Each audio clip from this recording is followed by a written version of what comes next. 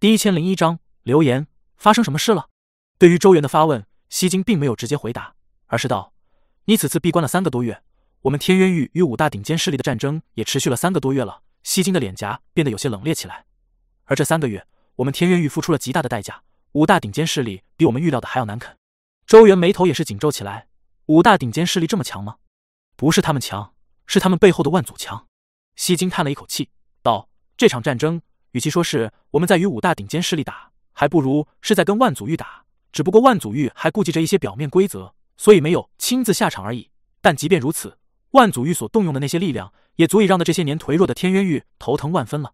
战争初始的时候，来犯的五大顶尖势力几乎是呈现溃败之势，但这个时候，万祖玉也是在暗中发力，驱使越来越多的附庸势力加入到了五大顶尖势力中。甚至我们还怀疑，这其中还不仅仅只有着万祖玉一家的附庸势力。周元眼神一凝。还有其他域也在落井下石。西京点点头道：“万祖域也并非是没有盟友，比如那妖魁域，他们或许没有做得太过的明显，但驱使一些隐藏在暗中的附庸势力相助五大顶尖势力，并非是不可能的事情。正因为这些原因，这三个月中，五大顶尖势力几乎是越打越强，原本溃败的局面也是被他们稳住，反而开始对天渊域边境发动更为猛烈的攻势。这段时间，我们天渊域损失不小，那四格的神府境也有五百多人身陨。”说到最后，连西京语气都是变得有些沉重下来。周元面色也是阴沉了下来。毕竟如今他还算是四阁总阁主，四阁的人都是由他执掌。要知道，就算之前的九域大会，四阁都未曾损失这么多人，而如今却是在这场战争中埋骨，实在让人心痛。在那其中，或许还有着一些曾经见过的熟悉面孔。伊秋水、叶冰凌他们还好吗？周元深吸一口气，问道。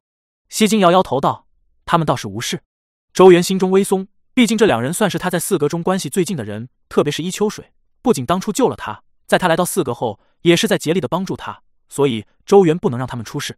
法域强者不打算出手吗？周元沉吟着问道。这场战争看似打得惨烈，但这是因为双方的法域强者都没有出手的情况下，不然的话，再多的人一旦入了被收入法域之中，恐怕都得化为飞灰。所以法域强者出手的话，应该能让的战争迅速的结束。西京道。没那么容易的。五大顶尖势力中有七位法域强者，虽说底蕴都不如我等，但联手起来也是麻烦。另外，我们也不敢在情况未明的情况下主动踏出天渊域去斩灭对方的法域强者，因为这很容易落入对方算计。一旦我们这边有法域强者重创被陨落，那是损失多少神府境、天阳境都是无法弥补的。周元默默点头，的确，虽然话不好听，但却极为的真实。一位法域强者的存在，不是神府境、天阳境能够用数量来相比的，那是战略性的力量。对方看似只有七名法域底蕴稍弱的法域，可关键是还有万祖域那头隐藏在暗中的毒恶。所以，如果没有找寻到机会的话，西京这些法域强者也不会轻易出手。这一切就看双方法域谁先因为战局而露出破绽。师姐先前说我未曾出来，会有点麻烦。周元将话题转回来，问道：“西京眼眸变得凌厉了一些，道：你闭关的时间过久，最近有流言在天渊域流传，说你是在故意以闭关来躲避战争。”这应该是五大顶尖势力的一些手段，想要用来动摇我天渊域的军心与士气。原本这种手段用在一个神府境的身上应该是毫无作用，但你却不同，你是师傅的亲传弟子。虽然你否掉了成为元老的资格，但你的身份是无法否认的。你无元老之时，却有元老之名。你要知道，对于你成为师傅第三位亲传弟子这件事，天渊域内的天阳境强者对此恐怕是内心非议最盛的。周元平静的点点头，以他在九域大会上的表现，如今的天渊域内。没有任何一个神府境再敢对他表达质疑，但那种战绩能够震慑神府境，但却镇不住天渊域中的那些天阳境强者。他们是老一代的天骄，在他们的眼中，本就对这一代的神府竟有着诸多的轻视。周元的战绩固然显赫，但在那些天阳境强者的眼中，这恐怕依旧并不足以是他被苍渊大尊所青睐的理由。所以他们内心是不服气的，他们无法接受周元以神府境的实力，直接就达成了他们的毕生目标。所以当周元的身份在显露出来后，天渊域的诸多天阳境强者固然嘴上没说什么，但一些暗中的非议恐怕是避免不了的。而那五大顶尖势力或许也正是抓住这一点，方才散播这种流言，想要动摇军心，打击天渊域天阳境的士气。于是最近的流言极盛，说是周元未战，以闭关躲避战争。而再加上五大顶尖势力的猛攻，天渊域这边伤亡不小。在这种气氛下，难免会将一些怨气引向周元。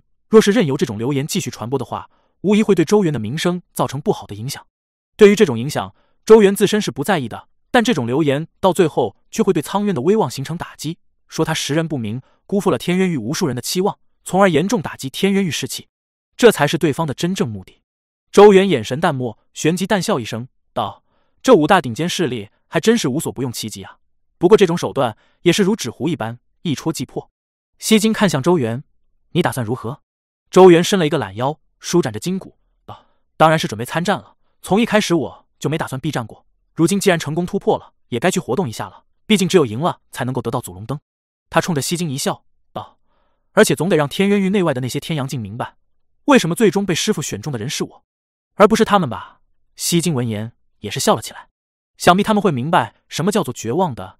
一个七亿两千万底蕴的天阳境初期，怕是会吓傻掉不少人。第一千零二章赤炎城，天渊域西北边境，赤炎城。赤炎城隶属于赤云州，此州坐落于天渊域边境处，是通往天渊域内陆的门户之一。所以此次战争中受到了五大顶尖势力的重点关照。在战争初始的时候，便是有着五大顶尖势力的军队对着赤云州席卷而来。只不过，却是被早已等待在此的天渊域大军打得头破血流。但五大顶尖势力并未放弃，在源源不断的力量支持下，继续卷土重来。于是，在这赤云州的边境线上，双方厮杀不断，不知有多少强者陨落，血腥之气滔天弥漫。赤炎城身为赤云州的重城，所以围绕在此城周围，也是几乎每日都是在爆发着战斗，极为的激烈。巍峨的城市中，巨大的元气光照将整个城市覆盖，光照上流转着无数晦涩的圆纹。隐隐间散发出极为强悍的元气波动，危险万分。城市的城墙上戒备森严，巡逻的队伍来转不休。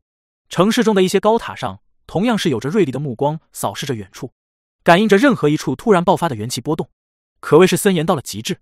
而因为战争的影响，原本繁华的赤炎城也是变得萧条不少。街道上的人影来去匆匆，神色皆是紧绷，带着肃杀之气。在城市居北的位置，有一座高大的圆顶建筑，在其外面人来人往。显得极为的热闹，那般人气简直不比战争之前赤炎城的一些热门之地弱。圆顶建筑最上方有“龙飞凤舞”的三个大字，闪烁着金光。战功殿，大殿之内一片喧哗，热火朝天，时不时的有着一队队带着血腥气的队伍走进来。不过这般阵仗并没有引得太多的惊呼，大殿内很多视线只是瞟了一下就收了回去，显然已经是见怪不怪。这些队伍来到大殿中央处，然后取出一块铜镜丢在柜台上，柜台后。有身穿黑衫的人接过铜镜，单手结印，顿时铜镜上有着一道道光点升起，那是神魂碎光。一旦人的神魂被斩灭，就会化为碎光。碎光落在铜镜上，顿时镜面闪烁，隐隐的化为了一道虚幻般的面孔，那是被斩杀者。天阳镜初期，一百点战功。黑衣人辨认了一番，然后慎重的取出一枚玉印，在那铜镜上面轻轻一压，顿时有着一抹流光钻入铜镜中，隐约的能够在那镜面上见到一闪而过的四百二十的数字。而那铜镜的主人则是心满意足的将铜镜收了回去。走，弟兄们，先去喝两杯，放松放松。他大笑着，带着身后队伍直接对着大殿另外一片区域而去。那是休息区，许多刚刚历经任务回来的队伍都在此处歇息，大声交谈的同时交流着信息。休息区域处，一张角落处的桌旁，叶冰凌、伊秋水与木流等人围坐在一起。今天我接到爷爷的消息，四格中的神府境又有数十人身陨。伊秋水缓缓的道。神情有些低落，叶冰凌、木流等人闻言，手掌也是紧了紧，然后端起酒杯一饮而尽，神色萧索。赤云剑派、三山盟这些该死的东西，早知如此，当年就应该早早的将他们从混元天抹除。叶冰凌俏脸上满是寒霜，眼眸中有杀意升腾。四阁的成员算是天渊域神府境中的精锐，所以此次的战争中也是肩负了不小的重任，而这所带来的代价，便是每一日的折损，其中一些不乏是伊秋水。叶冰凌他们所认识的人，这个时候他们才察觉到战争的残酷。其他人没有说话，但眼中的杀意却是不加掩饰。而此时，在休息区其他的地方，也是有些诸多的喝骂声响起，大多是在骂着三山盟那些势力，其中还有人在抱着酒壶痛哭，想必是有亲人好友在战争中殒命。哼，我们在这里打生打死，那位小元老倒是好命，可以堂而皇之的以闭关为由避开战事。混乱喧嚣中，有着一道愤怒的声音突然的响起：“谁说不是呢？”专主与西京两位元老，虽然也是大尊的亲传弟子，但在当年也曾经伴随着大尊经历无数残酷厮杀，战功赫赫，最终方才方才令的我天渊域有如今疆域。而如今这位小元老倒好，说是闭关，结果三个多月没有音信，哼，连赵母神他们都突破完成了，难不成他还没完成？我看他就是怕参加这场战争，生怕出了什么事故。呵呵，人家的身份是我们能比的，出了事谁能负责？一道冷笑的声音在此起彼伏的响起来，其中满是愤懑与某种名为嫉妒不甘的情绪。哼，他这个身份究竟是不是真的还难说，说不定是西京元老为了安抚人心，故意让他假装藏元大尊何等存在，怎会瞧上他？紧接着便是一些哄笑声。角落的伊秋水听到这些话，顿时俏脸铁青，咬着银牙道：“这些天阳镜真是越来越过分了。”这段时间的一些流言，他自然也是听过，但并没有当回事。可如今来看，这些流言却是愈演愈烈。再加上这些人在战争中承受着巨大的压力，刀口舔血下，一个个都是口无遮拦。他站起身来，直接冷着脸走向那群哄笑的天阳镜，冷声道：“当众妄议元老，你们胆子就这么大吗？”那些天阳镜强者转头看了伊秋水一眼，倒是将他给认了出来。不过他们也没敢对伊秋水谩骂，因为他们都知道伊秋水的爷爷一千击长老正镇守此城，于是都是缩缩头。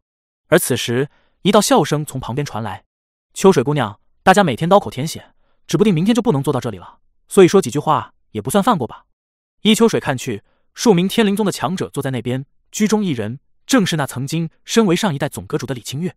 其他人听到此话，顿时面色沉重起来，继而脾气也是涌了上来，继续转头哄笑出声，继续着先前的话题。李清月这话倒是说的不错，说不定他们明天都活不下来了，谁还管什么得罪不得罪？伊秋水见到众人完全无视于他，气得玉手紧握，有些发抖。不过，也就是在这里吵闹沸腾的时候，一道修长年轻的身影缓缓的自那战宫殿门口走了进来。当那道身影出现在战宫殿时，殿内的诸多的吵杂喧哗声音几乎是陡然的一静，一道道神色莫名的目光投射而来，望着那道身影年轻而熟悉的面孔。休息区那些哄笑的天阳镜也是面色各异的停了下来，因为那走入战宫殿的身影正是他们哄笑之中的正主。如今在这天渊域，有着小元老戏称的周元第一千零三章战宫殿。周元走入战宫殿，他瞧着诸多投来的各色目光，也能够感觉到战宫殿内那有些古怪寂静的氛围。不过他的神色却是颇为的平静，目光扫动一下，然后便是直接迈腿对着休息区域而去。而休息区域中那些天阳境强者见到这一幕，面色有些不太自然。虽然他们先前言语间对周元有诸多的不敬，但不可否认的是，如今周元在天渊域的地位非同小可。他即便否掉了元老的身份，但大尊亲传弟子的身份是跑不掉的。所以，就算是天渊域长老团的长老在这里，都得对他保持客气。更何况他们这些天阳镜，先前那些话，暗地里说说也就罢了。可如果当着周元的面，他们还是有些不太敢撕破脸皮的。只是他们又有着身为天阳镜的傲气，不想面对着周元就显露出什么惧怕来，所以一个个都是处在那里，身体紧绷，面无表情的望着走近的周元，心中想着：若是这周元要斥责他们，他们应该如何应对？在那众多视线中，周元来到休息区域处。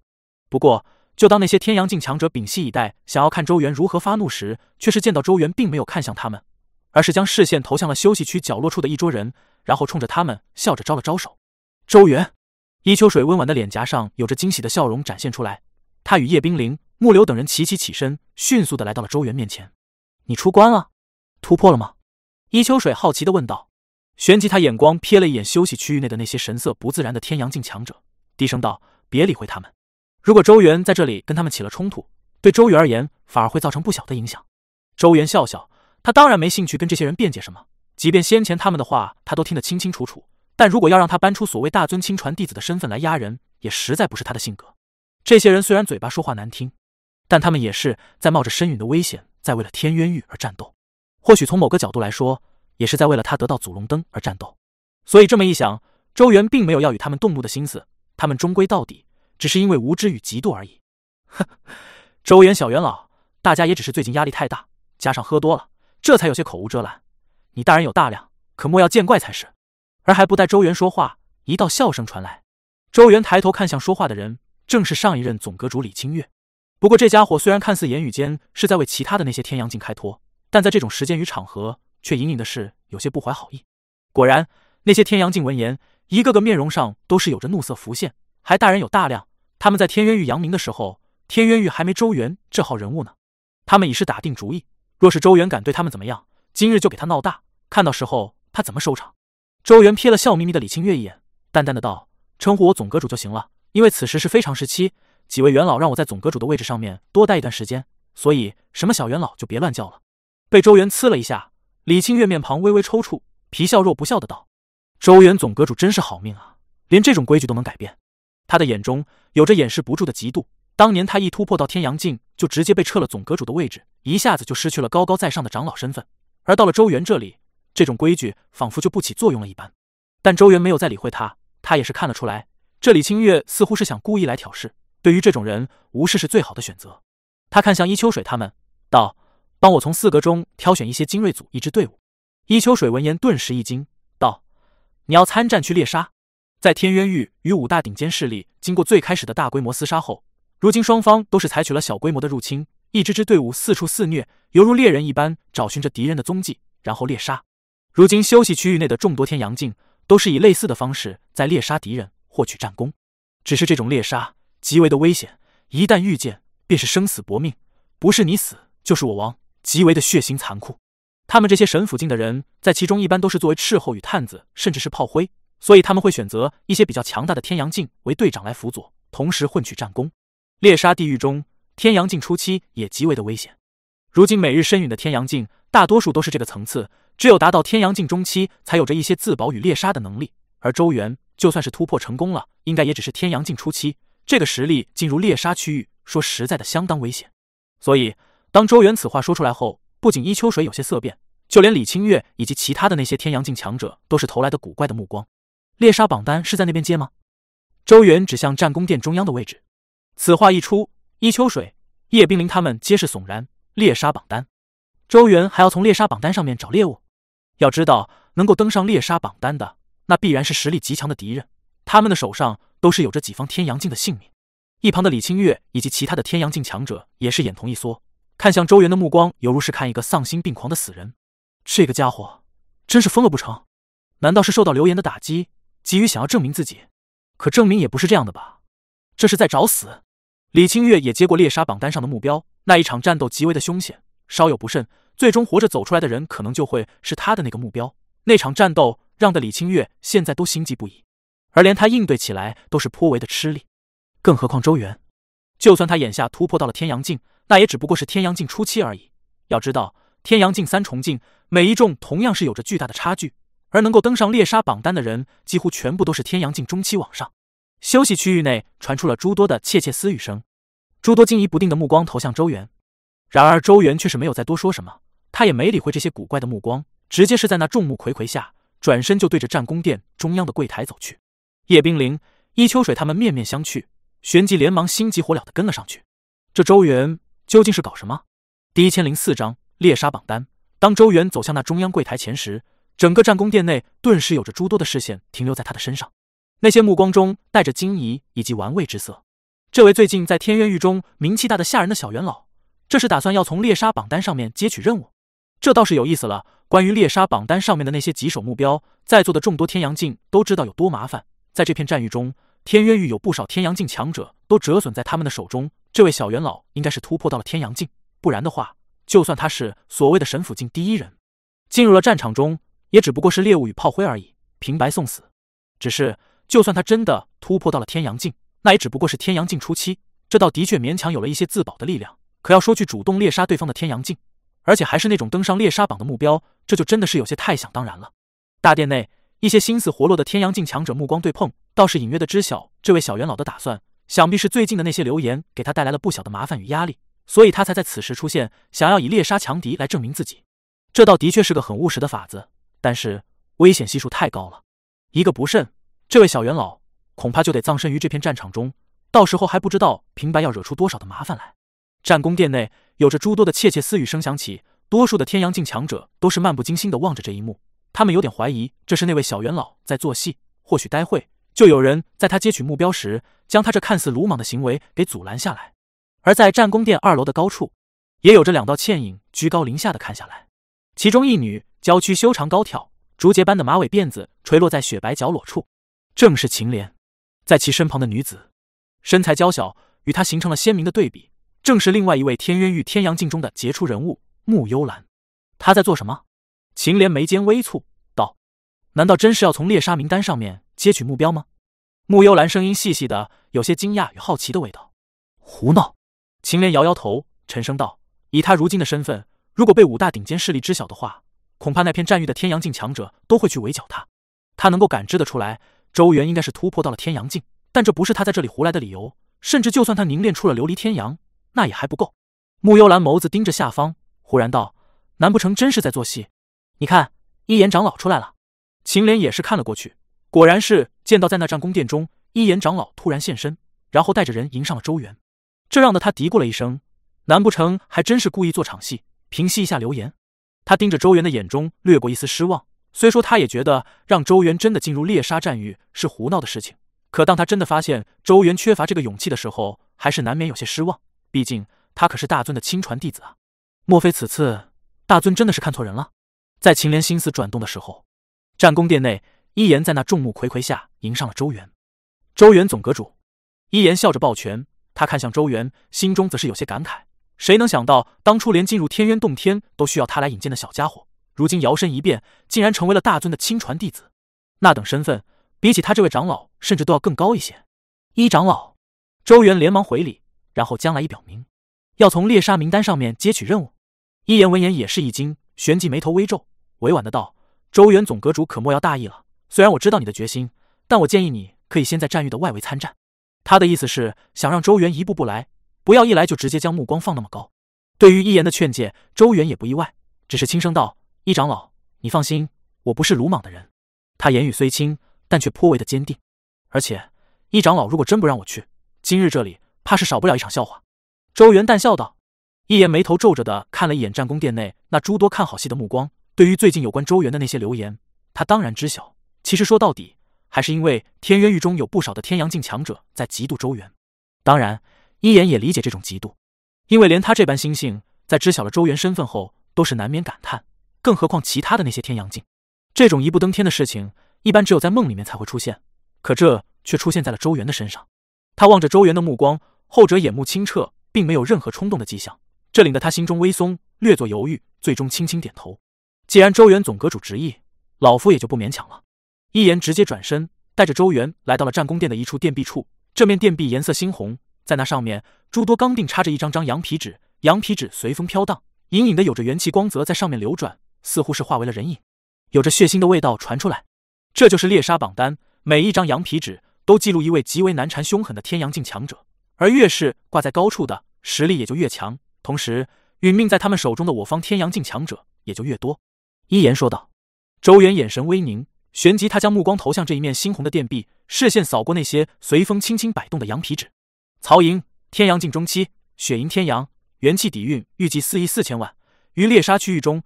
掌我天渊域三位天阳境初期，柳血手天阳境中期，血银天阳元气底蕴预计四亿七千万。周元的目光扫过，发现能够挂在这殿壁上面的人都是天阳境中期往上，天阳境初期几乎是没有。他看了几眼后，目光忽然转向最顶部的位置，他倒是想要瞧瞧那最棘手的究竟是何方神圣。在那最顶部，一张羊皮纸轻轻飘动，有着两张面带微笑、似乎一模一样的苍白面孔落在他的视线中，竟然是两人。王青山、王海渊，孪生兄弟，实力皆为天阳境后期，紫金天阳。两人不论对手强大与弱小，从不分离，联手之下有圆满默契，战斗力惊人。传闻曾有琉璃天阳天骄殒命于手。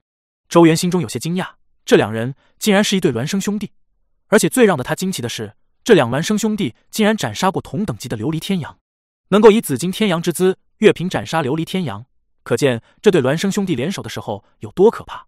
别看了。那是我的目标，我被调到赤云州，就是为了斩杀他们二人而来。他们已经杀了我们不少人了。在其身后，忽有淡淡的声音响起。周元转头一看，只见的那秦莲不知何时来到了身后。成功了吗？周元笑问道。秦莲摇摇头道：“这两人极为狡猾，之前交手过一次，被他们跑了。能够从秦莲这位混元天天阳榜第六、天渊域的天阳镜牌面手中逃走，这王家兄弟的实力看来果然不容小觑。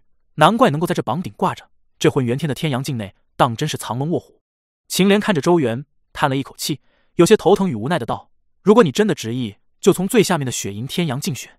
多谢秦莲长老告诫了。”周元笑了笑，他知道秦莲是好意，但雪银天阳并满足不了他的胃口，他也没那么多时间去找这种级别的麻烦。他手掌一抬，下一瞬，所有人都是见到，在那殿壁居中的位置，有着三枚钢钉颤动，其上所挂的三张羊皮卷轻飘飘的飘落下。羊皮卷落下的瞬间。战宫殿内诸多的天阳境强者面色都是忍不住的一变，因为他们看得清楚，那三张羊皮卷上的目标赫然全部都是天阳境中期紫金天阳。周元不仅一次性的接了三个目标，而且还全部都是紫金天阳中期。面对着这种目标，此时战宫殿内超过八成的天阳境强者都是不敢染指。然而眼下，周元却是在他们的眼皮底下，毫不犹豫的将他们接了下来。他们对视着，吸了一口冷气。这周元看来是真的疯了。第一千零五章截取，冰凉的羊皮纸落在手中，周元手指轻轻摩挲，目光瞥过。张子豪，天阳境中期，紫金天阳，元气底蕴预计六亿三千万。曹潇，天阳境中期，紫金天阳，元气底蕴预计六亿六千万。北宫桥，天阳境中期，紫金天阳，元气底蕴预计七亿五千万。战宫殿内有诸多目光停留在那羊皮纸上面，以在场众人的眼力，自然是能够将其看得清清楚楚。所以这一刻，不少人看向周元的目光都是如同看待疯子。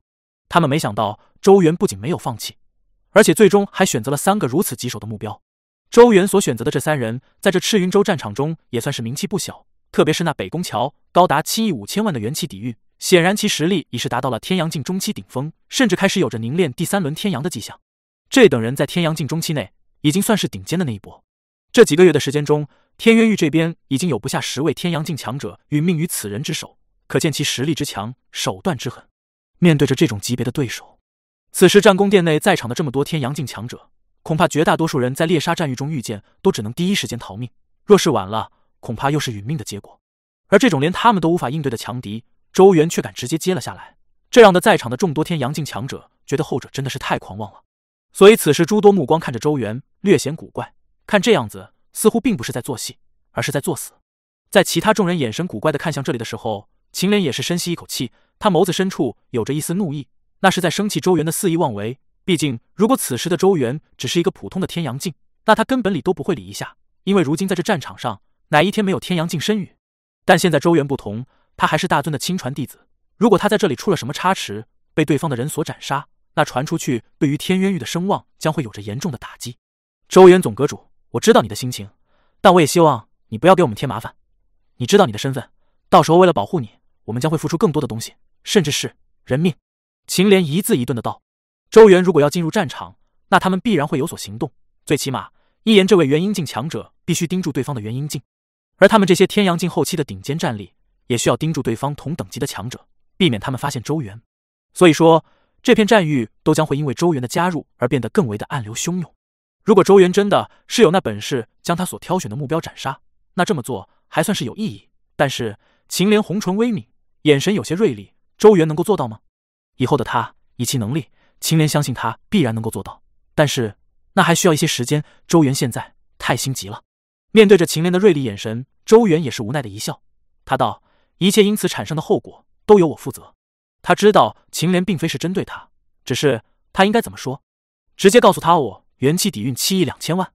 他不信的话，然后再当众显露元气底蕴，暴露自身的实力与底牌。谁能知道此处没有五大顶尖势力的暗探？有些东西。多隐藏一分，到时候爆发出来所取得的好处也就越大。秦莲咬着银牙，他盯着周元半晌，然后猛地甩手转身离去，马尾在其身后摆动，看得出来他此时内心中的愤怒与失望。周元望着他离去的背影，然后转头看向一言，道：“一长老不会也要阻拦我吧？”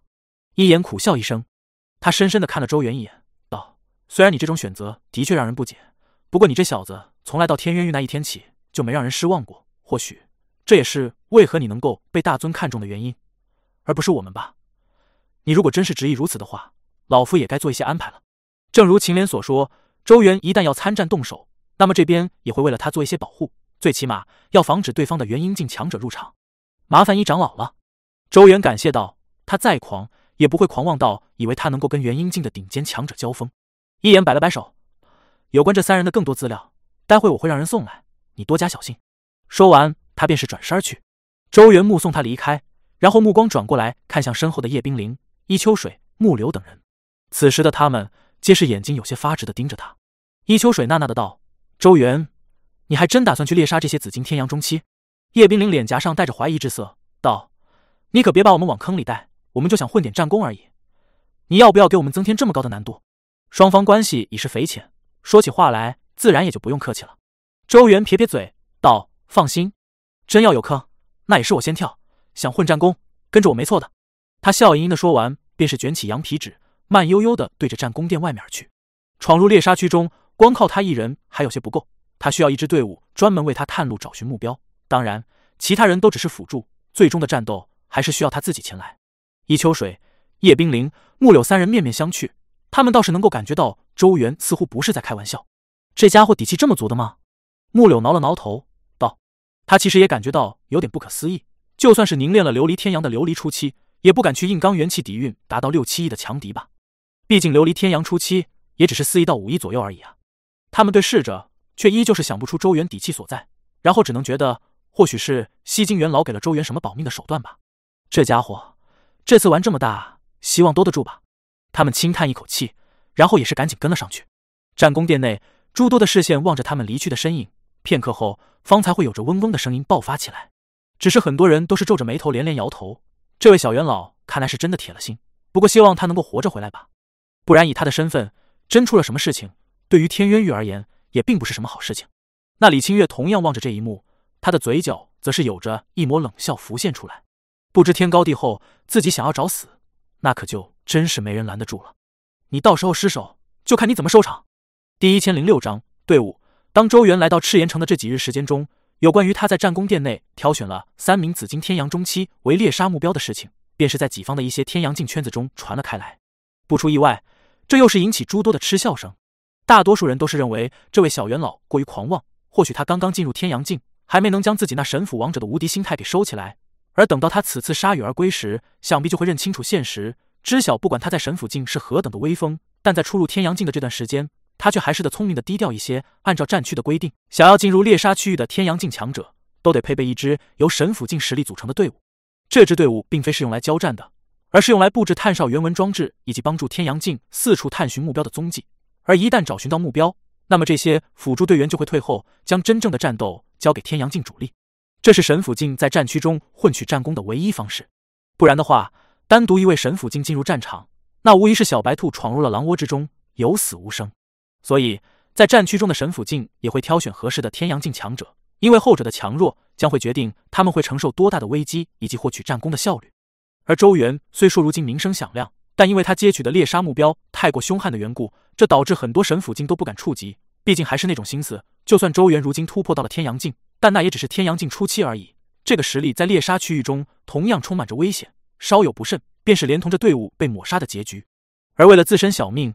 没有多少神府境敢去周元的队伍，所以周元的队伍足足凑了三天时间，方才凑齐十人，都是熟人啊！赤岩城的一座院中，周元望着伊秋水、叶冰凌他们领来的一队人，目光扫过，则是忍不住的一笑，因为这些面目都是格外的熟悉。除了伊秋水、叶冰凌、木柳三人外，便是韩渊、商小玲、林峰等人，这都是四个中的熟面孔。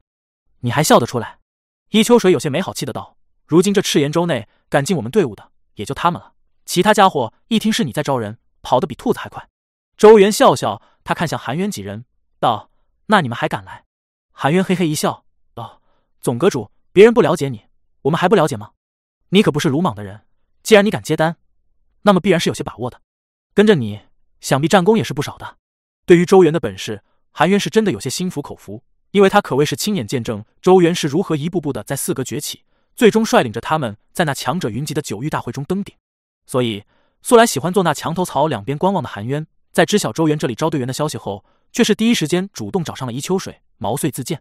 商小林抿嘴道：“你是我们老大，虽然你现在比我们强大很多，但只要你需要帮忙的话，只需要招呼一声便可。”商小林等人以往都是属于散修，也算是吃过许多的苦头，直到周元将他们招进风阁，所以在商小林他们的眼中，周元算是对他们有一份恩情。虽说以后者如今的身份，他们或许连投靠做小弟的资格都没有，但只要周元有吩咐，再难的事情他们都不会推拒。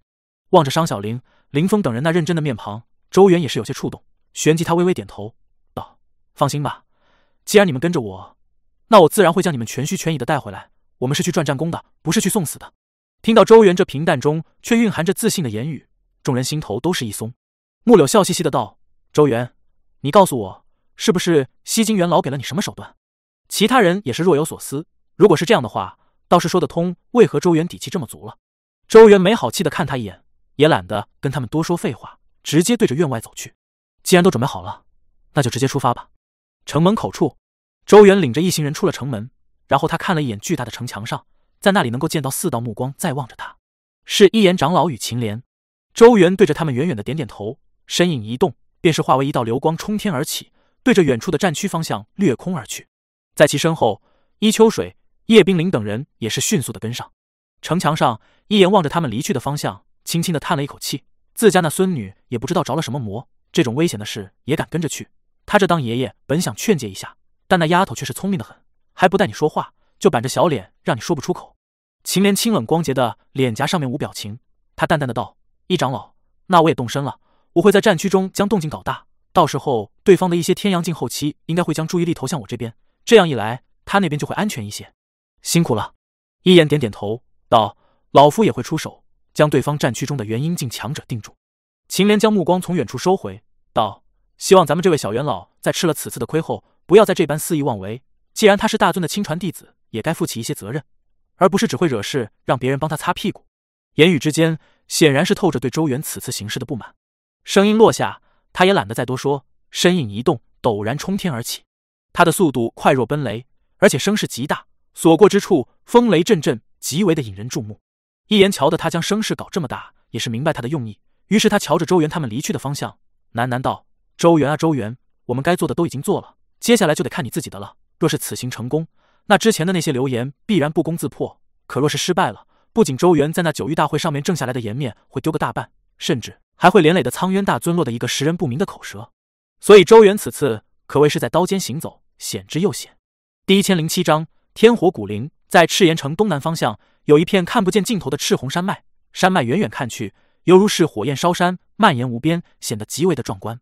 此为天火古灵，乃是天渊域中颇为有名的一处资源点。这里的资源便是那一棵棵擎天火焰树，其名为天火树。天火树炽热，扎根地底深处，汲取炽热元气，而成熟的天火树将会诞生出一种树灵浆，这是一种颇为宝贵的修炼资源。若是天阳境强者修炼时将其炼化，有着增强纯阳之气的神妙功效。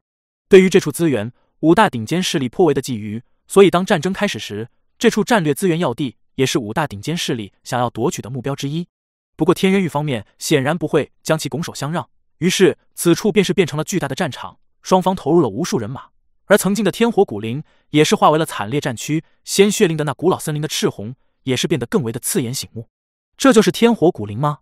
周元立于一处山丘上，目光望着不远处出现在地平线上的赤红森林。森林之中，一棵棵赤红巨树如擎天柱般，赤红的枝叶蔓延开来，伴随着风摇动起来，如同火焰燃烧。在这里，天地间的元气都是变得炽热起来。周元微微运转体内的元气，然后惊讶的感觉到，似乎体内的元气都是变得更为的活跃。这是因为元气之中所融合的纯阳之气的缘故，天阳境在这里战斗力都会有所提升。不过对于神府境而言，则是要难受许多。他看了一眼一旁的伊秋水、叶冰凌他们，只见得此时的他们俏脸皆是有些红腻，娇躯上有元气流转，抵御着那种来自外界的炙热。显然，在没有融合纯阳之气前，他们并不适应这种纯粹的炽热天地元气。轰，轰，在看不见尽头的赤红森林中。还时不时的有着狂暴的元气波动，若隐若现，想必是某些地方发生了战斗。在森林的外围，周元还能够看见源源不断的队伍在涌入其中，战火的气息扑面而来，带着血腥味道。伊秋水走到周元身旁，他手持一面铜镜，铜镜中光线绽放出来，在面前虚空上形成了一幅地图。那地图正是眼前的天火古林。你此次选取了三个目标，不过我们建议先从张子好入手，他是三人中相对而言最容易对付的。伊秋水说道。不过，虽然这样说着，但他的脸颊上却满是凝重与忌惮。毕竟那是紫金天阳中期。周元对此倒是没有意见，无所谓的点点头。伊秋水他们见状，倒是微松一口气。他们倒还真是有些担心，周元一来就要头铁的去碰那最棘手的北宫桥。他们甚至觉得，或许在与张子好这等强敌交手后，周元应该就会领略到紫金天阳中期的强横，说不定到时候就会主动的放弃北宫桥这种目标。根据战功殿时时给予的情报。张子好的活动范围应该是在这一片区域。伊秋水纤细手指一点，那面前的地图便是迅速的缩小，最后指向了天火古林的某个区域。周元轻轻点头道：“如果中途遇见其他敌人，可以斩杀吗？”伊秋水他们闻言顿时一滞，这位真是好大的杀心啊！这是想要一路杀过去吗？这哪来的底气啊？叶冰凌摇摇头道：“不建议更改目标，斩杀其他敌人，因为那是战场队做的事情。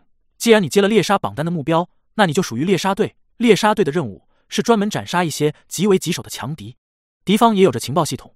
如果你更改目标，斩杀了其他人，有可能会暴露自身位置，从而引来更多的围剿。一旦陷入围剿，恐怕我们也只能撤退。那样的话，你这种斩首猎杀也就基本宣告失败。周元恍然的点点头，表示明白。那就行动吧。周元身影一动，破空而出，直接对着那座看不见尽头的赤红森林落去。一进入天火古林，那天地间的温度就更为的炽热，甚至连空气都是如同火烧过一般，元气隐隐沸腾。刷刷，周元一行人保持低空急掠，进入天火古林，就已经进入了双方的战场中。这里情况复杂，一旦飞得过高，很容易被集火。那种情况，想必就算是此时的周元也吃不消。一行队伍零星的散开，商小玲、叶冰凌几人处于前方，探测方位引路。看得出来，他们对此处颇为的熟悉，想必之前没少进来混战功。而周元便是保持在中间的位置，一旦前方遇见变故，他也能够第一时间支援。一行人闷头急速赶路，他们都是尽可能的收敛着元气，同时主动的避开着一些元气碰撞的地方，那里一般都是有着战斗在发生。这般赶路，一赶就是一日的时间。这一日中，周元他们碰见了不下百处战斗，不过其中大多数都是天阳境初期的战斗，凌厉而惨烈。不过周元遵守着猎杀队的方式，并没有插手其中，而是悄然穿过。不过也曾有被敌方发觉的时候，敌方试图追击，但周元却是凭借着敏锐的神魂感知，迅速的将其甩脱。于是，在一日之后，一行队伍有惊无险的抵达了目标所在区域——一棵赤红巨树上。周元静静盘坐。他的目光透过枝叶望着不远处，只见得伊秋水他们此时从怀中取出一枚枚玉简，玉简上面有原文缠绕。当玉简被拍碎在一些树干上面时，顿时有着一道如同眼睛般的原文浮现出来，然后渐渐的融入树干，消失不见。这是一种探测原文，能够实时的监控四周的动静。布置这种探测原文也能够获取微弱的战功，而战功殿也是凭此来搜集情报，提供给猎杀队定位目标。而在这些原文布置好以后。伊秋水他们对着周元的方向打了一个手势，然后便是身影一动，对着四面八方悄然掠去。这是要开始去探查此次的目标了。周元原本也是想要跟去，但却遭到了一致的拒绝。所有队员都让的原地休整、调整状态，因为一旦找到对方的踪迹，那么接下来他们所能够依靠的就只有周元了。如果周元不敌，他们这支队伍也就只能撤退，期间说不定会有伤亡。周元见到他们坚决，也就只能无奈的应同，然后目送他们远去。不过他也并未枯坐。而是将神魂感知蔓延开来，如此一来，只要伊秋水他们有所异动，他立即就能有所察觉。森林之中一片寂静，唯有赤红枝叶摇摆，有着火焰燃烧的声音响起。约莫一炷香后，周元那微闭的眼目忽然睁开，那个方向有伊秋水他们的信号传来。终于找到了吗？低声呢喃间，周元的身影直接是化为阴影，消失在了原地。终于到他出手的时候了呀！对于这突破到天阳境的第一战，他也是期待的很呢。第一千零八章，一拳，古林某处，周元的身影如阴影般的出现在了一棵赤红巨树上。那诡异的身影将蹲守在这里的伊秋水等人都是吓了一跳。待得他们看清楚来人后，方才将紧绷的身体松缓下来。找到了，周元低声道。伊秋水、叶冰凌他们皆是脸颊凝重的点点头，然后拨开重重赤红之叶，目光看向远处。周元的目光也是顺着望去，只见得在那远处的林间，有着大片的天火树被砍伐，从而形成了一片空地。空地中有着营帐，隐约可见一些身影忙碌穿梭。这些大部分都是神府境，他们将一株诸天火树劈展开来，找寻着其中蕴含的树灵浆。这些混蛋真是野蛮！伊秋水有些心疼的望着这一幕。以往天渊域采集此处的树灵浆都不敢砍伐，而是钻孔一点点的取出。可五大顶尖势力的人显然没这种爱护的心情。反正这是属于天渊域的东西。木柳低声道：“张子好就在中心的营帐坐镇，先前我们见到他出现过。”韩渊道：“接下来怎么做？此地有数十位神府境，要不要我们先引走一波？你再找寻机会对那张子好出手。”看得出来，他们都很紧张，身体紧绷的跟弹簧一般。不过也难怪，他们此次将要面对的是猎杀榜单上面的人物，乃是紫金天阳中期死在他手中的几方天阳境强者，也有数位了。周元闻言摇摇头：“不用这么麻烦，只是一些神府境而已，只要杀了张子好，他们不足为惧。”声音落下。他的身影便是在韩渊他们震惊的目光中，直接从树上跃了下去。我的天！木柳他们见到这一幕，脸色都变白了一分。他们没想到周元就这么大次次的冲向了营帐，这都不精心谋划一番，等那张子好戒心全失时，再突然袭击吗？怎么办？易秋水、叶冰凌他们面面相觑，白皙额头上有着细密的汗水被惊吓出来，但他们也不敢跟着跳出去，因为那只是羊入虎口。而在他们惊惶的时候，周元的身影已是出现在了营地之外。营地内，那些忙碌的神府镜也是在第一时间发现了他的踪影。他们在经过初始的愣然之后，猛地反应过来这是敌人，当即有着警戒的号角声在这古老林间响彻起来。敌袭！敌袭！营地中央的营帐被掀开，一道如铁塔般的身影慢悠悠的走了出来。那是一名身躯壮硕的中年男子，他手中抓着肥腻的烤瘦腿，吃得满嘴油光。而随着他的出现，营地内的慌乱气氛顿时被止了下来，一道道敬畏的目光看过来。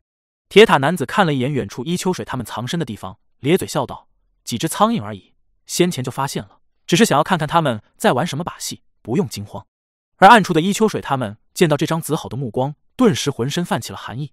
原来对方早就发现了他们，怎么办？怎么办？要不要撤退？伊秋水紧张的道：“撤不了的，周元已经上去了。”叶冰凌苦笑一声，指着那出现在营地之外的周元。而在众人头皮发麻的时候。出现在营地之外的周元望着那铁塔男子，道：“你就是张子豪。”张子豪双目虚眯的盯着周元，数息后，他眼中猛地有着金光爆发出来，脸上有着一种难以遏制的狂喜浮现。他狂笑如雷：“你，你是天渊域的周元？”他竟然是将周元给认了出来。不过这也并不奇怪，毕竟如今的周元也算是混元天的知名人物了。哈哈，我这是着了什么天大的运道，竟然直接将你送到我面前？你可知道，在我联盟中，擒住或者斩杀你这小子？究竟是何等的大功？他的笑声震动着四周的森林，而营地中那些神府镜也是眼神惊疑的望着周元的身影，因为这个名字最近在混元天可是极为的响亮，特别是当他这苍渊大尊亲传弟子的身份传出来后。只是这家伙是脑子坏掉了吗？竟然敢深入到此处！这周元虽说在九域大会上打败了赵牧神，但那毕竟是神府境，就算如今他成功突破到了天阳境，那也只是天阳境初期，而站在面前的张子豪却是紫金天阳中期。哈哈，张子豪狂笑不断。不过同时，他的感知蔓延，一番探测，却是发现此处除了那几个苍蝇外，的确就只有周元一人。这家伙还真是独自深入战场的，这可真是人在营中坐，大礼从天落呀！轰！强悍惊人的元气在此时自张子豪的体内爆发出来，隐隐间仿佛是有着一轮紫金大日在其身后虚空浮现，一股可怕的元气威压弥漫开来，脚下的大地直接是在此时开始龟裂。四周的那些神府境皆是无法承受这种威压，连连后退，眼中敬畏更甚。而不远处的伊秋水，他们也是察觉到了威压，当即眼中惊惶更甚。那可是六亿元气底蕴带来的威压，如果他们靠得太近，恐怕光是这等元气威压就能够让得他们动弹不得，战意全失。哈哈！张子豪眼神森然的锁定周元，宛如噬人之虎。他也没有多说废话，虽然不知道这周元犯了什么蠢来到这里，但既然送上门了，断然是没有放过的道理。砰！他脚掌一跺，地面直接塌陷下去，而其身影则是化为流光爆射而出，空气都是在此时被生生压爆，发出了刺耳的音爆之声。给我死来！张子豪狞笑出声，他身影几乎是瞬间出现在了周元上空，身后有一轮紫金大日浮现出来，浩瀚的元气涌动，一股凶悍而炽热的波动如风暴般的肆虐席卷。六亿左右元气底蕴一展现，四周的空间都是隐隐的有些凝固的迹象。轰！他一拳轰下。只见的暗红的元气如洪流般咆哮而出，那元气纯粹而凝练，宛如血红火焰。一拳轰出，下方的地面已是开始崩裂。这一拳没有任何花俏，而是将纯粹的元气底蕴展现到了极致。营地内那五大联盟的神府境们皆是露出冷笑：这周元死定了。后方伊秋水银牙紧咬，眼眶泛红，他身影一动，竟是要冲出去，但随即被叶冰凌与木柳急忙按住：“你去送死吗？”伊秋水双手紧握，他目光死死地盯着场中。对于后方的动静，周元并不知晓，他只是神色平静地望着那裹挟着霸道无匹一拳轰然下张子豪。后者那足足六亿左右的元气底蕴，如果换作突破之前的话，恐怕不论他做任何的抵抗，都是毫无作用。纯粹的元气底蕴差距，不是任何手段能够弥补。但是可惜，周元五指握拢，有着白色的毫毛自皮肤下涌出来，将拳头包裹，紧接着白色化为漆黑色彩，宛如黑色拳套。他脚掌微微后移半步，然后一拳轰出。那一瞬间，璀璨的白金元气自他体内咆哮而出，隐有龙吟声响彻，震撼人心。一轮琉璃般的大日在其身后若隐若现，其脚下的地面直接是在此时无声无息的消失了一层，犹如是被融化。轰！周元面无表情的一拳轰出，仿佛是带着白金龙影，直接是在那众多目光的注视下，与那张子好的赤拳在半空中硬生生的撞击在一起。死吧！张子豪狂笑出声，不过那狂笑声很快就凝固下来，他的眼瞳中有着一丝惊骇涌出来，因为在那碰撞的第一瞬间，他终于是感觉到了对方那疯狂呼啸而来的元气究竟是强到了什么程度。他那引以为傲的六亿元气，几乎是在碰撞的瞬间被摧枯拉朽般的淹没，琉璃天阳。他的面庞在那瞬间布满恐惧，浑身冰寒。他终于是知道为什么周元敢出现在这里了，因为对方的元气底蕴比他这紫金天阳中期更为的恐怖。张子豪无法理解，一个刚刚突破到天阳境初期的人，为何会拥有着这种变态的元气底蕴。轰！他也没机会继续理解了。那一瞬间，有狂暴的元气冲击波爆发开来，这片营地瞬间被摧毁。周围一棵棵擎天柱般的天火树也是直接拦腰而断，最后被元气冲击波搅碎。双方的神府境界是纷纷狼狈退后。而当冲击波的肆虐停下来时，他们第一时间看向场中。再然后，双方便是发出了不可思议的惊骇失声。只见得在那碰撞的地方，一道身影纹丝不动，宛如磐石般，甚至连脚步都未曾移动过半点。那是周元。伊秋水他们猛地瞪大了眼睛，而五大联盟的神府竟则是面露惊恐。张子好呢？为什么失去了踪迹？张子好呢？商小林也是半天憋出一句话来。木柳沉默了半晌，忽然道：“你们看周元面前飘落的那些光点，是不是有点像神魂碎光？”此话一出，气氛直接死寂。伊秋水、叶冰凌他们以一种无法形容的目光望着那里，神情有些呆滞。那好像真的是神魂碎光？难道说那张子好被周元一拳直接打得尸骨无存，连神魂都被瞬间搅碎了？这一刻。伊秋水他们只觉得头皮阵阵发麻。第一千零九章，很强的周元，狼藉的古灵间，一道道视线近乎呆滞的望着保持着一拳轰出姿态纹丝不动的周元，特别是他面前那些飘散的神魂碎光，绚丽而让人感到阵阵心悸寒意。那些五大顶尖势力的神府境，在经过片刻的呆滞后，也终于是渐渐的察觉过来，认出了那些飘散的神魂碎光，于是他们一个个如触冰窖。张子好大人被他一拳轰杀了，怎么可能？大人可是紫金天阳中期，元气底蕴超过了六亿，他只是天阳境初期啊！但是大人的元气波动的确消失了，那些神府境感觉要疯了，他们太阳穴突突的跳个不停。这个结果显然是将他们震撼的不轻，一时间都是有点难以接受。不过周元却没理会他们能不能接受，他望着面前飘散的神魂碎光，然后取出一面铜镜，直接是将一枚碎光进入其中，似乎很强。周元轻声自语，眼中有着神光绽放，唇角挑起一抹笑意。他所说的很强，当然不是这个被他一拳秒杀的张子豪，而是说他自身，或者说是他自身的元气底蕴以及新进化而成的元气。虽然周元知道这张子豪并没有什么挑战性，但他也没想到过竟然会直接一拳就将对方秒杀的连神魂都碎裂。显然，他低估了自身那七亿两千万的元气底蕴的强悍程度，而且他所修炼的元气已经进化到了八品天龙气。此时的周元敢说，即便是放眼这混元天，能够在元气的品阶上超过他的人。绝对是屈指可数，八品元气，就算是九域中也是最为的顶尖，非常人能够修行。所以，别看他的元气底蕴是七亿两千万，可如果遇见同等底蕴的七品元气，周元能直接将对方吊起来打。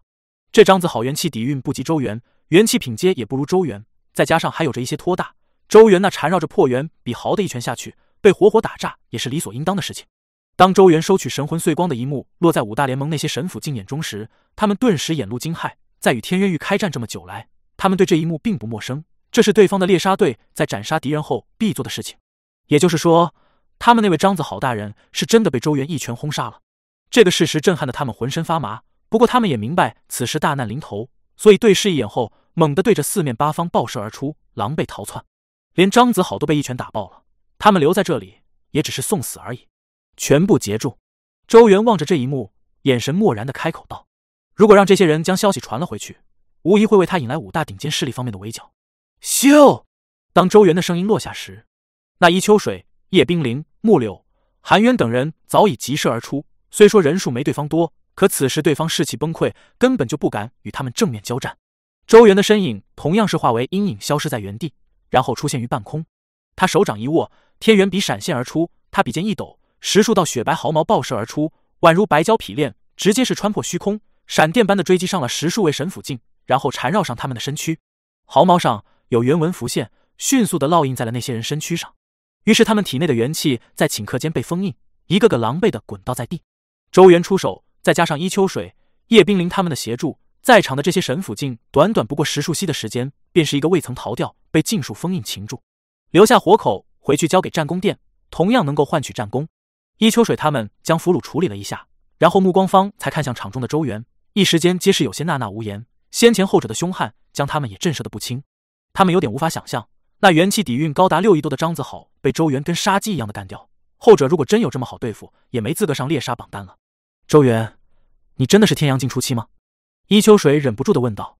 其他人也是眼巴巴的看来，面色惊疑不定。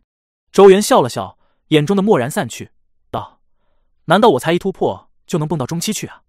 伊秋水他们面面相觑，只能将这当作是突破了神府境极限的好处。我之前就说过，不是带你们来送死的。周元笑道。伊秋水他们游子还带着惊叹的点点头。他们原本以为周元有底气接这种目标，应该是西京元老给了什么手段。可如今来看，显然是因为他自身的实力太变态了。他们低估了这位大尊的亲传弟子啊！听说赵牧神也突破到了天阳境，而且凝练了琉璃天阳。可如果你们再碰见的话，恐怕他连你一招都撑不下来。木流感叹道：“那曾经的神府靖王者，如今恐怕是真正的被周元甩开了。”周元闻言却是摇了摇头，道：“可别小看了这家伙。对于那赵牧神，其实连周元都是略有些忌惮。这家伙的韧性极足，虽然在九域大会上被他打断了突破，可这并没有对他心境造成什么影响。转头就闭关，直接顺利突破，可见心性之坚定。而且他的涛之气运颇为的诡异，指不定什么时候就会气运逆天的爆发一波，在这天阳境猛然崛起。所以这种对手容不得小觑，未来说不定还得与他再做过一次。对了。从他们这里搜出了十五盒树灵浆，想必是他们这段时间在天火古林搜刮而来的。伊秋水玉手一抬，十数个玉盒漂浮在了面前，盒盖开启，只见的里面盛满着赤红色的浆液，浆液之内犹如是有着玄妙的火苗在升腾，一股炽热的气息升腾起来。周元望着那些赤红浆液，能够感觉到神府内高高悬挂的琉璃天阳似乎都是变得炽热了一分。这可是好东西啊！周元眼露炽热之意，此物对于天阳境而言乃是难得的宝贝。修炼时将其炼化，能够加快修炼，同时还能够增强天阳内所蕴含的纯阳之气。以往天火古灵内的树灵浆都是受到管控，眼前这些放在那个时候可是价格不菲，而且还颇为的稀奇。只是此次战争倒是令得此处被打开，说起来算是便宜了不少人。你们一人一盒。周元屈指一弹，便是有着数个玉盒飞向了伊秋水等人。我们也有。木柳、商小林他们有些惊喜，因为按照规矩，这些战利品几乎轮不到他们这些神府境的。他们能够混到战功就已经很满意了，不过他们也知晓周元的性格，所以也没多说废话，一个个欢天喜地的收了下来。这树灵浆他们此时还用不上，但等到突破到天阳境后却是好东西。周元袖袍一挥，将剩下的玉盒收起来，然后吩咐两人将这些俘虏先行带走。第一个目标解决了，走吧，还有两个呢。周元笑了笑，他看了一眼狼藉的四周，此地应该很快就会有人来探查了，所以他们也该转向其他的目标。说完。他的身影已是率先掠出，在其后方，伊秋水、叶冰凌、木柳、韩渊等人皆是满脸欢喜，兴致勃勃的紧随而上。跟一个时辰前那种忐忑不安比起来，现在的他们可谓是精神抖擞，半点不慌了。因为他们发现周元这根大腿比他们想象的还要更粗。第一千零一十章重要情报：三日后，天火古林某处，伊秋水、叶冰凌等人站在一棵大树树干上，一个个翘首的望着远处。只见的那里，两道狂暴的元气如狼烟般的升腾，那一波波的冲击将附近的地面尽数的撕裂，巨树倒塌，破坏力极为的惊人。那是周元与第二个目标曹潇在战斗。为了找到这曹潇，他们在天火古林中找寻了三日，方才确定他的方位。不过，相对于第一次的提心吊胆，此时的伊秋水等人都是神色轻松。毕竟有了之前周元一拳打爆张子豪的恐怖战绩后，他们已经明白周元的实力有多变态。这一次虽说曹潇未曾直接被一拳打爆。但看得出来，双方的战斗中，周元占据着绝对优势。这家伙真是太可怕了。木柳一边看着热闹，一边感叹。一旁的韩渊深有同感的点点头。而且最让的他感到可怕的是周元的进步速度。想当初他刚来到四阁的时候，吕潇、韩渊他们这些人真是没将他看在过眼中。可谁能知晓，就是这个他们所轻视的人，最终将四阁带到了九域大会第一的位置。从这一点来说，他们这些神府竟对周元真的是千福万福。天渊域的天阳境，恐怕也会经历一次类似我们的经历。韩渊有些幸灾乐祸的道：“他们如何不知道，如今天渊域的那些天阳境对周元的态度，那是一种深深的嫉妒与质疑。但不幸的是，这些质疑最终都将会化为巴掌，狠狠的甩回在他们的脸庞上。苍渊大尊既然会选中周元，自然说明他自身的举世无双。”伊秋水认真的道：“嫉妒蒙蔽了许多天渊域天阳境强者的眼睛，让得他们对一些东西视而不见。他们也不想想。”九域大会魁首的位置，天渊域创立以来，有人得到过吗？虽然如今周元才刚刚踏入天阳境，面对着那些老牌天阳境会稍微示弱一些，但只要给予他一些时间，这些天渊域骄傲的老牌天阳境必然都会被他甩在身后，并且望尘莫及。其余人皆是点点头，对于那一天，他们倒是有些期待。轰！当他们说话的时候，远处战场中一道惊人的元气爆发开来，咻！一道狼狈的身影倒射而出，身躯带起了音爆声，重重的砸落在地面上，如同皮球一般的弹了数十次，每一次的都是在那地面上留下深深的巨坑。最终，那道身影止了下来，满身鲜血，连胸膛都是他陷了下去，气若游丝的模样，不是那曹潇又是何人？此时的曹潇元气萎靡，面庞上有着恐惧之色涌现。他被眼前这个天阳境初期的周元展现出来的战斗力害得不轻，他无法理解为什么周元会这么强。唰，周元的身影出现在了曹潇的面前，他眼神漠然，手中斑驳的黑笔缓缓抬起，锋锐的笔尖有寒光流转，引得虚空颤动。别别杀我！曹潇胆魄尽失，骇然求饶，在死亡面前再没有天阳境强者的尊严。然而周元无动于衷，这是战争。当初那些死在曹潇手中的几方人，或许也曾经如此的求饶，但显然曹潇并没有留情。嗡，所以他毫不犹豫，手中天元笔直接对着曹潇眉心暴刺而下，杀气涌动。曹潇魂飞魄散，尖声道：“别杀我，我有大秘密。”锋利笔尖在距离曹潇眉心半寸停了下来，但那锋锐的劲风依旧是将后者眉心刺出了一个小小血洞。只要再入得一分，就能让得这曹潇神魂破碎。你只有一次机会。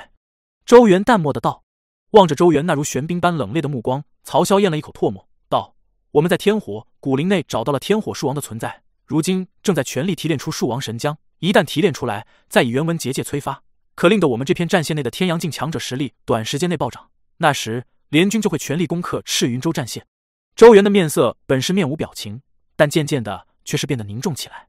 那快步而来的伊秋水他们同样听见了此话，当即面色皆是大变。你们竟然找到了天火树王！